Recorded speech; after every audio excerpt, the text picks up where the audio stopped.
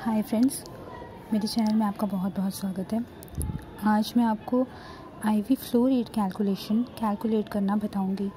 तो इससे पहले कि मैं वीडियो शुरू करूँ, आप प्लीज़ मेरे चैनल को सब्सक्राइब करिए। मैं ये वीडियोस आप लोगों के लिए ही बनाती हूँ और अगर आप सब्सक्राइब नहीं करेंगे तो मुझे मोटिवेशन नहीं आएगा। तो प्लीज़ आप सब्सक्राइब कर दीजिए। तो सबसे पहले आईवी फ्लो रेट कैलकुलेशन करने के लिए हम ड्रॉप फैक्टर्स देखते हैं।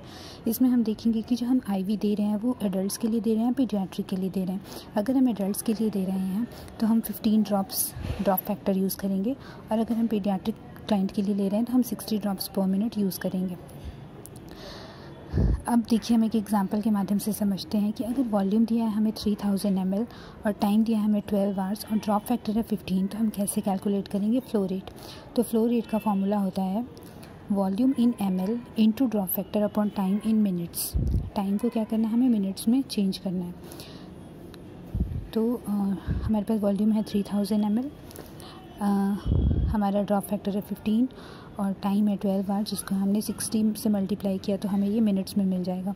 तो अगर हमने ये सारा कुछ कैलकुलेट किया तो उसके बाद हमारे पास आता है sixty two point five M L per minute per minute क्यों? क्योंकि हमने यहाँ पे 12 घंटे को मिनट में कन्वर्ट कर दिया है।